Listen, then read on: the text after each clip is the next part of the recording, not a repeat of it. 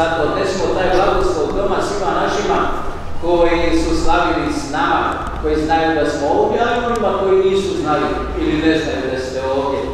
Neka radost ovog susreta bude vaša snaga i nosite tu radost svima koje susretnete.